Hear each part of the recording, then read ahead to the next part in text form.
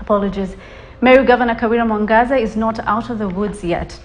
This is after MCAs tabled another motion to impeach the governor after the High Court stopped the same process last week. I want us now to join, talk to our reporter, Clement Masombo. Clement, good afternoon. Um, the governor's 70 apologies seems to have had no effect on the MCAs, or did they? Yes, indeed. Uh, despite the governor's apology last week saying that she was sorry for everything that was happening within the county of Meru, uh, that seems that uh, it did not uh, touch the souls and the hearts of the members of County Assembly of Meru.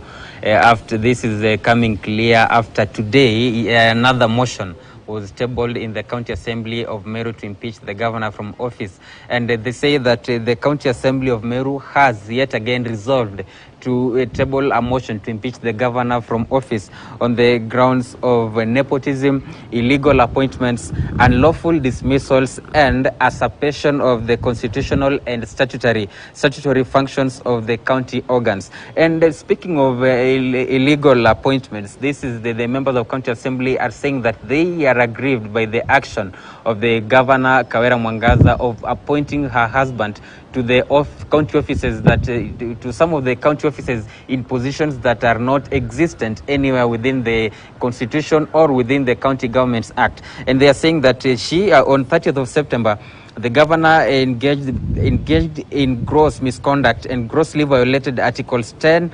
232, 235, as well as Article 236 of the Constitution by appointing her husband to the position of uh, the, the, position of uh, the patron of the Meru Youth Service before conducting a transparent and competitive recruitment process. They also say that she also appointed her husband to the to non-existent position of the Meru Hustlers Ambassador before conducting a transparent and competitive uh, recruitment process. Among many other among, among many other grounds that they are accusing the governor of, as well as uh, dismissing uh, some of the county employees and just making the roadside declarations. In uh, disregarding the provisions of the uh, regulations of the uh, public service uh, public service commissions uh, county county governments act as well as the constitution of kenya.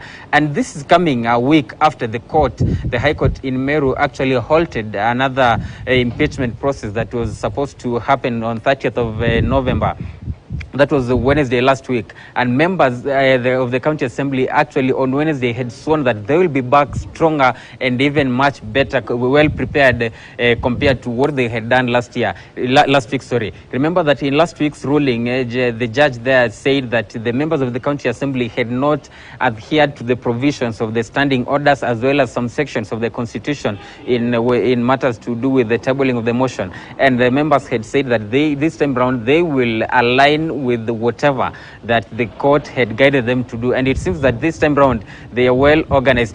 This is happening just uh, about two days after the, county, the governor of Meru County, Kawira Mwangaza, actually in Embu on Sunday at a function that was attended by President William Ruto as well as his deputy Rigathi Gachagua, had asked the president to intervene on whatever was going on in the county. And Rigathi Gachagua, the deputy president, had issued an assurance that, she, that he will spearhead the talks within between the leaders of the, the two factions in Meru County to ensure that they, uh, they, they sort their differences amicably so that Meru County can move ahead like uh, other counties. But it seems that uh, the members of County Assembly of Meru are not listening to any of that. But we are waiting to see. The tabling has been done today. We, are, we shall get more details on when the governor will be responding or uh, if at all she will again move to the court for the second time to halt and suspend this uh, particular uh, motion to impeach her from office.